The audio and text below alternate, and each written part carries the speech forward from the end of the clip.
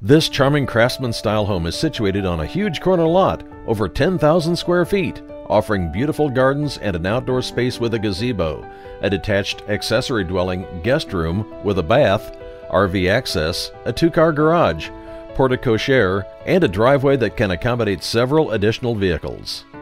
There's pride of ownership with an upgraded kitchen, a large living room, designer touches throughout, three large bedrooms, abundant natural light, and a service porch.